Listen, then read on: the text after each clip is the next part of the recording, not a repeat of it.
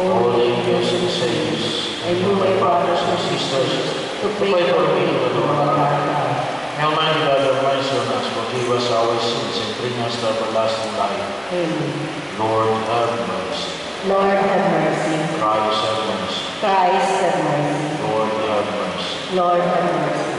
May the glorious intercession of the Virgin and Martyr Saint Lucy give us new heart, we pray, O Lord, we may celebrate her heavenly her birthday in this present age and so behold things eternal. Through our Lord Jesus Christ, your Son, who lives and reigns with you in the unity of the Holy Spirit, one God, forever and ever. Amen.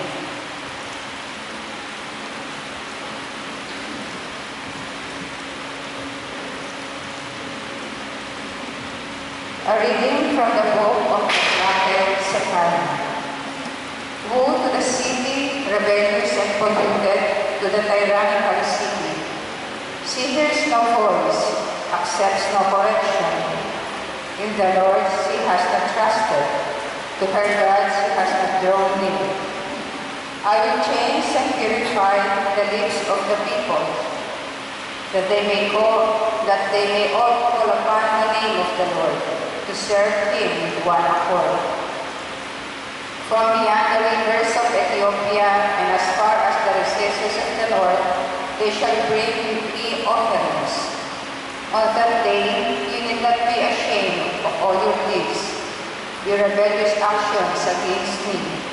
For then I will remove from your midst the proud braggarts, and you shall no longer exalt yourself in my holy mountain. But I will leave as a remnant in your midst a people humble and lowly, who shall take refuge in the name of the Lord, the remnant of Israel. They shall do no wrong and speak no lies, nor shall there be found in their mouths a deceitful tongue. They shall pasture and coast their flocks, with none to disturb them. The word of the Lord. Thanks be to God.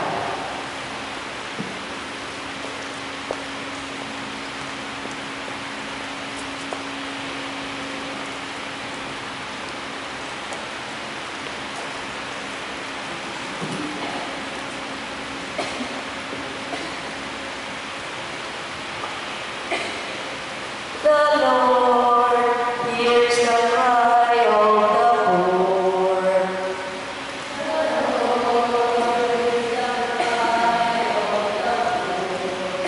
I will bless the Lord at all times. His praise shall be ever in my mouth. Let my soul glory in the Lord. The lowly will hear me and be glad. The Lord Look to him that you may be radiant with joy, and your faces may not blush with shame. When afflicted men called out, the Lord heard, and from all his distress he saved him.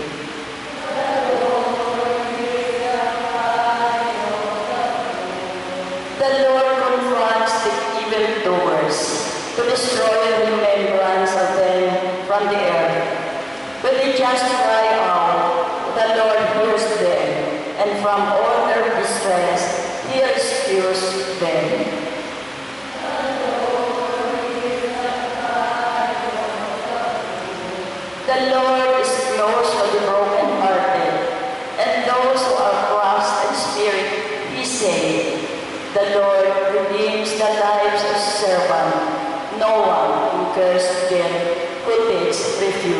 Amen.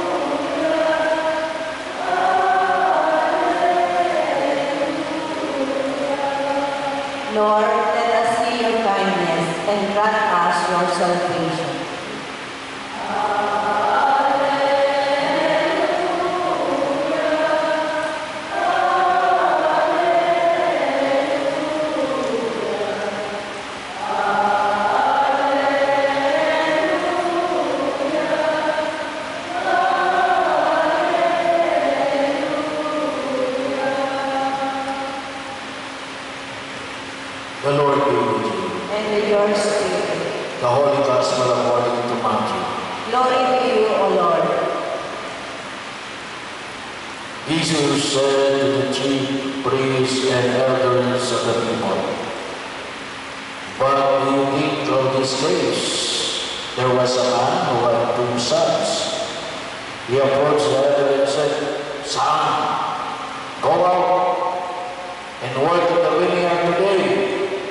The son replied, I am on my way, sir, but never went. Then the man came to his second son and said, See him. His son said reply, No, I will not. But afterward he regretted and went. Which of the two did what the father wanted? Wanted. He said, The second. Jesus said to them, Then me make it clear that tax collectors and prostitutes are entering the kingdom of God before you. When John came practicing a way of holiness, you put no faith in him. But the tax collectors and the prostitutes did believe in him. Yet even what you saw, you did not repent and believe in him. The Gospel of the Lord. Praise to you, Lord Jesus Christ. Ang pagbabago ay kaakibat ng pagbabalik loob o conversion, pagsisisi. Maliwanag na kung ay walang pagbabago kapag walang pagsisisi. Ah, ito ang pinakatakutan ng mga pariseo at mga iskriba. Yung kaakibat ng pagbabalik loob sa Diyos may mga bagay na mababago. May mga bagay na maaaring dati na nilang pinapakinabangan na ngayon ay maaaring mawala gawa ng pagtugon sa panawagan ng buong may kapal. Kaya nga, ang tunay na pagtugon sa panawagan ng Jesus no? ay isang pagtugon na inihanda ang sarili sa anumang hamon na ibinibigay ng pagbabago. Siguradong babaguhin tayo ng Diyos sa oras na tumugon tayo sa kanyang panawagan. Kasi yun yung kanyang bagay na may mga bagay na kinakailangan mong alisin o maaari mong itagdag para makamit mo ang pagkasakaluparan ng pag-aaral ng Diyos. At alam mo, kung isa natin, ito ay isang struggle kasi may mga bagay na kung isa ng tayo na sanayan. At kapag ito ay napalitan kuminsan ay sabi nga ay dapat. Kaya kuminsan kasi hindi tayo sanay sa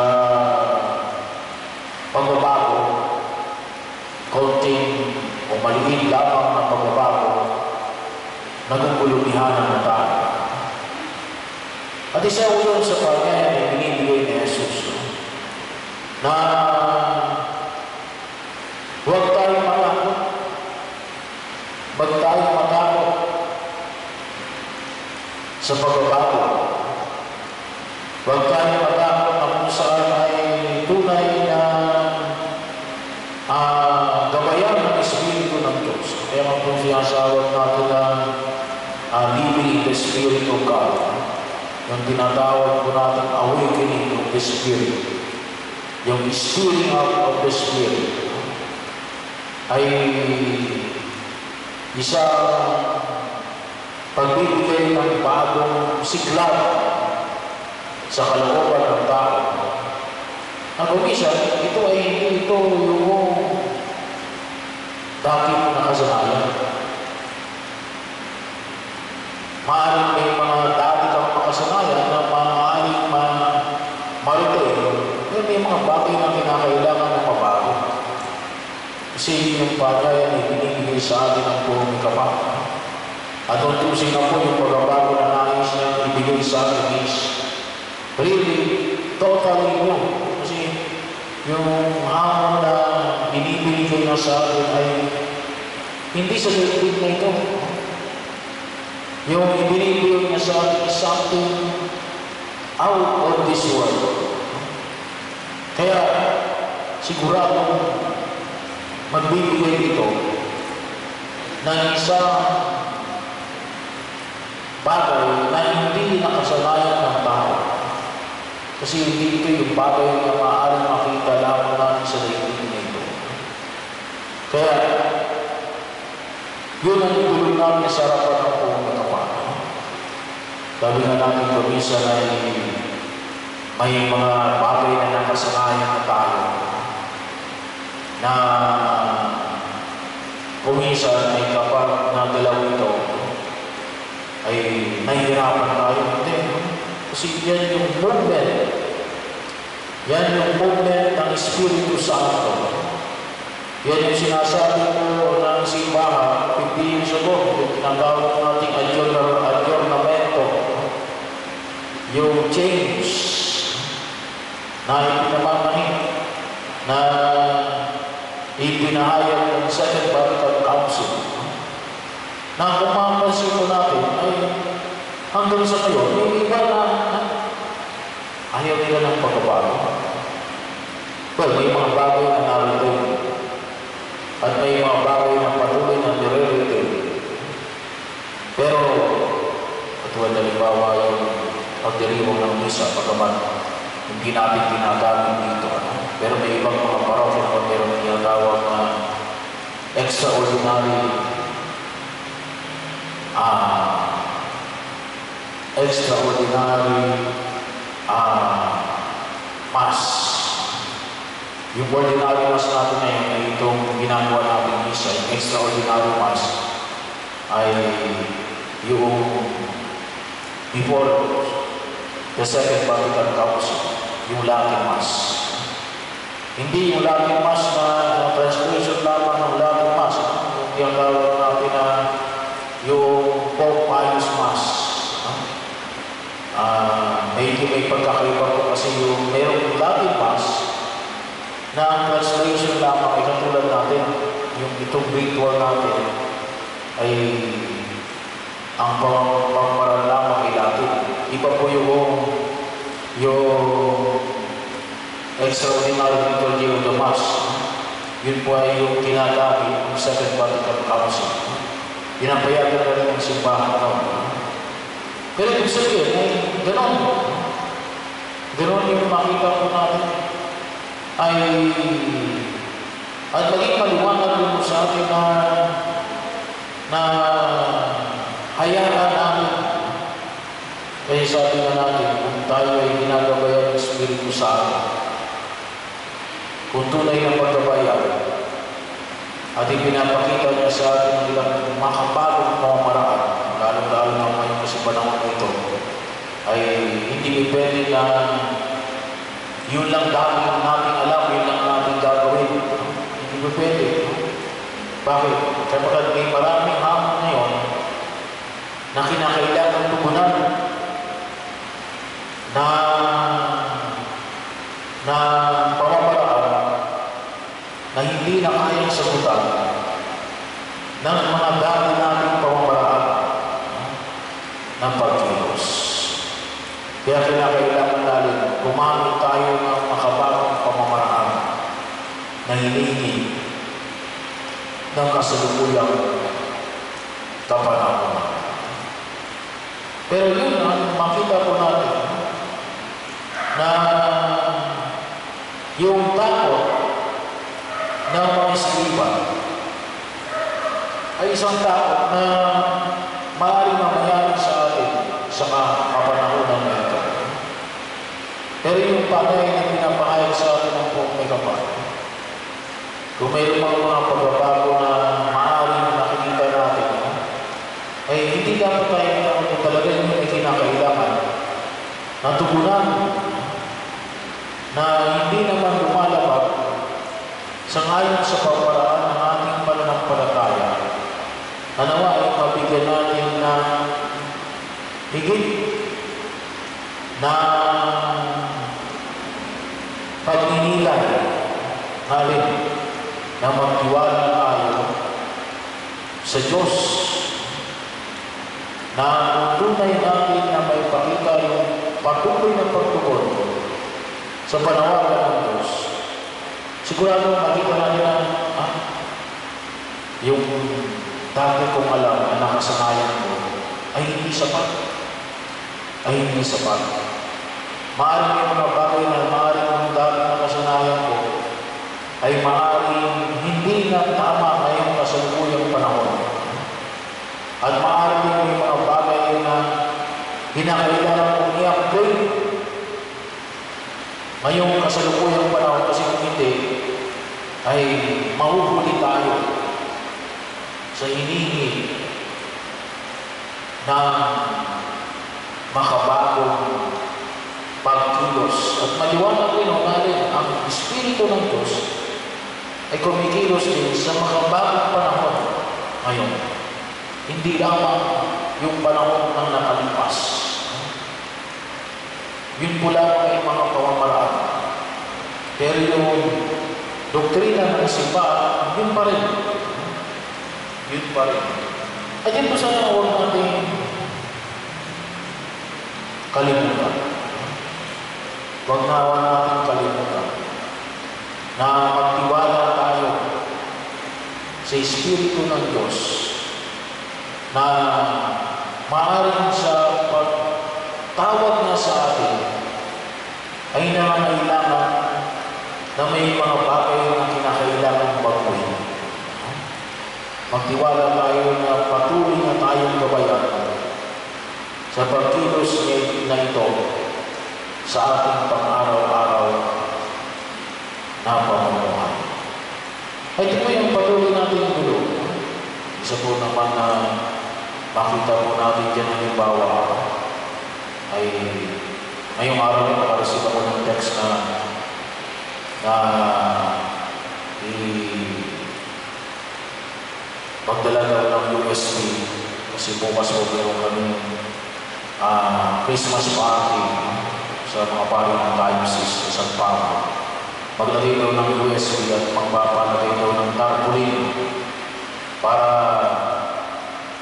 maging matibay yung pagtingin na alin na against tayo sa anumang uri ng pagtitiwid ng buhay ng tao. At yun ay isang pananampalataya na ating pinaniniwalaan mula pa idinatag ni Kristo ang ating simbahan. Pero ngayon, medyo mas malaki yung hamon. Mas malaki yung hamon. Lalo-lalo na nakita natin ngayon alin yung hamon. Yung hamon na na ah pagsupil sa drugs,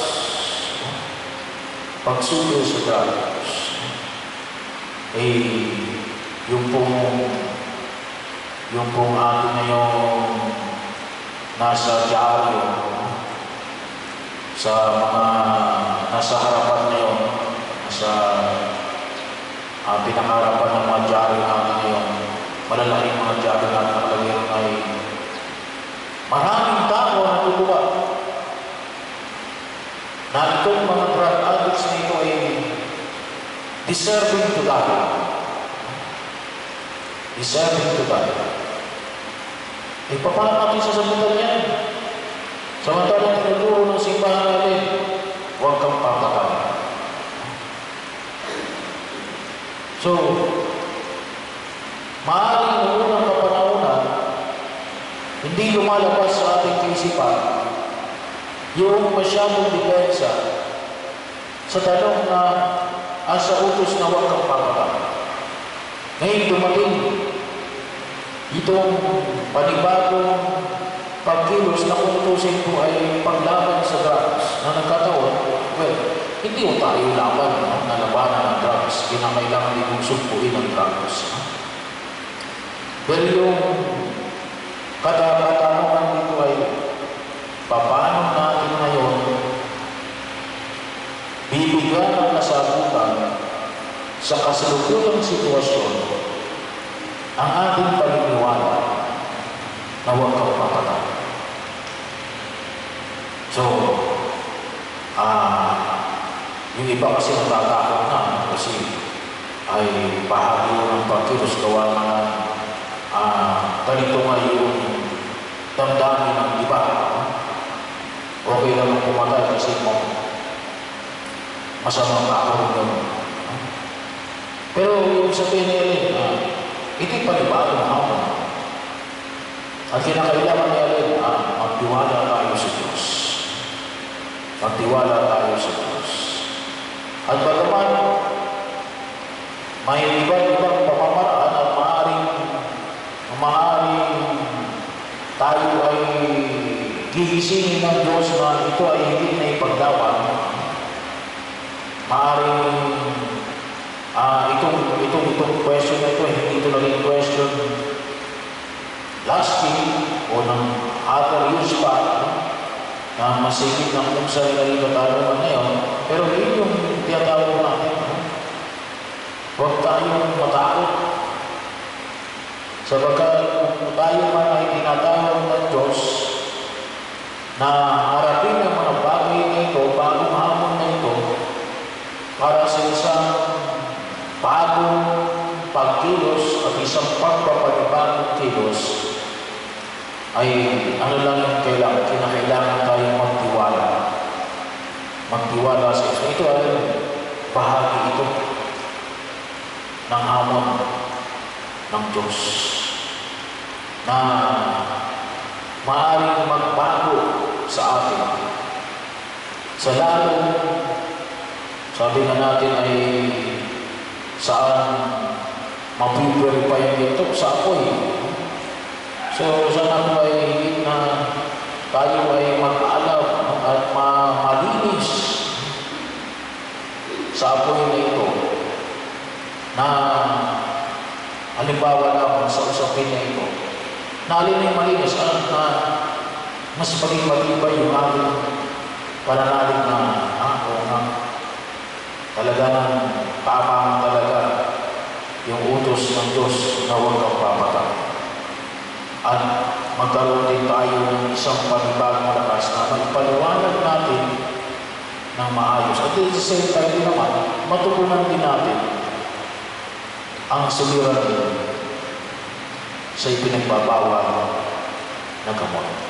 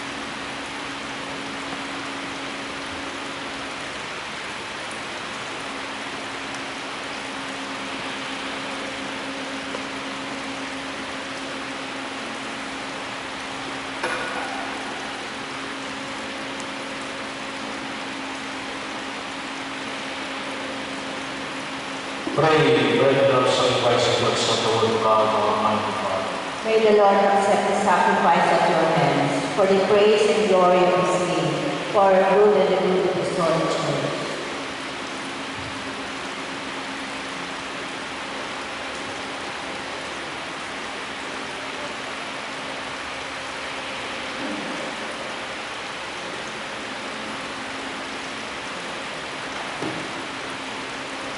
May the offerings bring in celebration of Blessed Lucy, win your gracious acceptance, O Lord, we pray, just as the struggle of her suffering and passion was pleasing to you.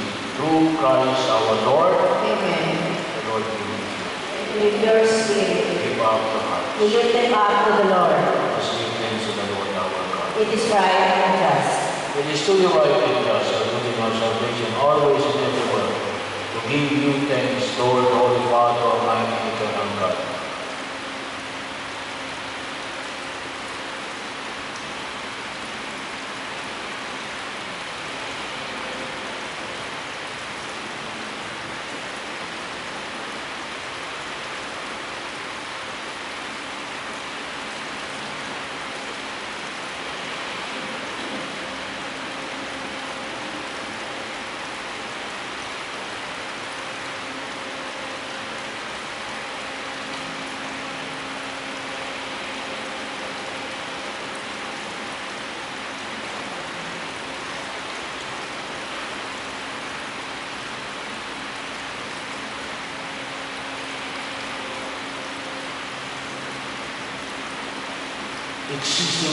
Ages and abiding for all eternity, dwelling in a triple life.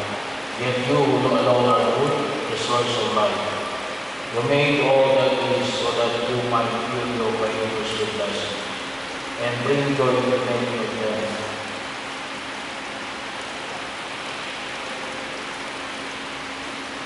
By your Lord of your life. And so in your presence are countless hosts of angels who serve you day and night, engaging upon the glory of your face, glorifying you without ceasing.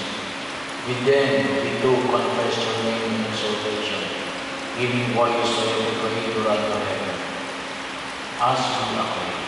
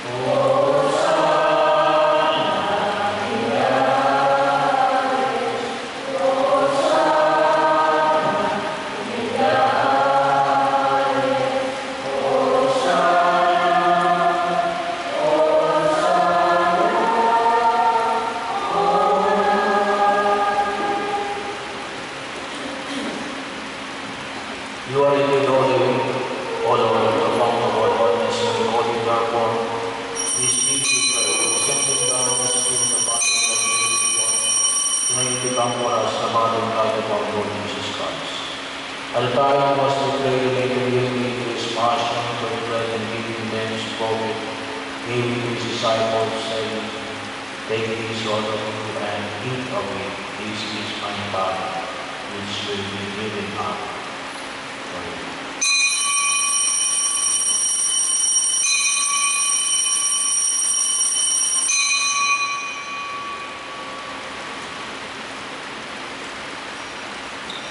In a similar way, when supper was ended, he took the chalice and once more giving thanks, he gave it to his disciples, saying, Take this, all of you, and drink from it. This is the chalice of my blood, the blood of the new and everlasting covenant, which will be poured out for you and for me, for the forgiveness of sins. Do this in memory of me.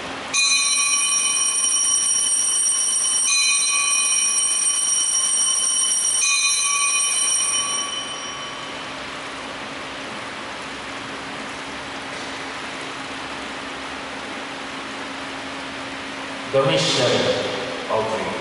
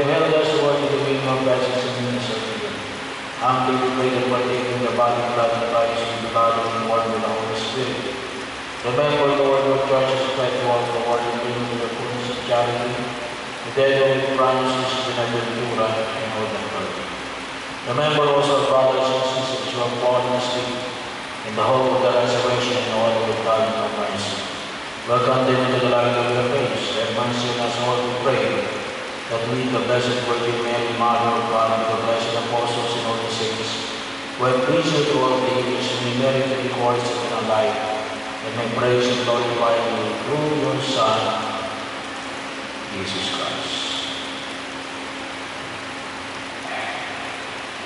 Through him and with him and in him, O God, Almighty Father, the unity of the Holy Spirit, of glory and honor is yours forever and ever.